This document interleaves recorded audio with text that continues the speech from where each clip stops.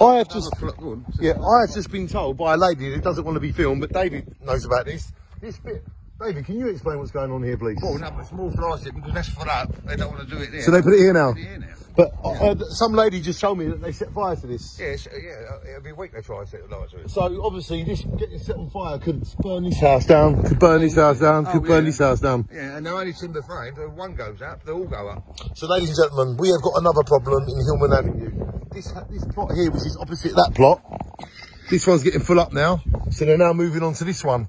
And what they're doing is, David, they're basically setting fire to this, Yeah, they come through the alleys at night with Yep. all the furniture and all that. So and they just dump it here. just dump it anywhere, except for their own street. But there's a dump there in the road for free. makes makes me sad. The obviously the the concern of you and the residents is that It was a safety issue. this this could set these houses on fire. Oh, yeah. Then you get a domino effect. Oh, yeah. One when, when one goes up, Oh, yeah. They could all go yeah. They'll all go. Yeah. ladies and gentlemen, what is going on? People say things are getting better. Well, they're not. No, no. No, they're not getting No, because when you get onto the council, and I've been down there, Yeah. they just keep passing the buck. I've been to environment health, been everywhere. Yep. And nothing's got done.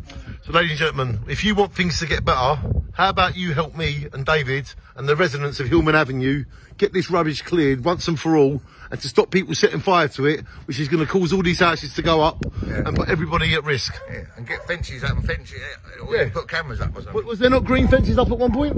Not, no, never. But there is some up there that have got green no, the fences. council declared these about six years ago. It, it was worse than that, Yes. and they cleared it. There's smoke coming up from here. Oh, that's, that's my cigarette. All right. I thought. So there you go, ladies and gentlemen. This is a fire risk. Let me go straight to them, David. So this is the alleyways of Jaywick. The alleyways here. The alleyways here. And people are now dumping fridges. All their rubbish. Oil, sofas, speakers, boxes. Look, they're having fires. Proper fires. Look, that's that's been on fire. That's been on fire. That's all been on fire. It's a proper fire. Ladies and gentlemen, they, people are putting all their rubbish here and then they're setting fire to it. And the people that live in these houses are very scared that their houses will go up in flames. If you're having fires this close to where people live, can you imagine if you was one of them people that lived in the houses where these fires were happening? We need to put a stop to this, ladies and gentlemen, because people are in fear of their lives. Because people are dumping rubbish and trying to set fire to it themselves. If one of these houses goes up in flames, they could all go up in flames. The domino effect.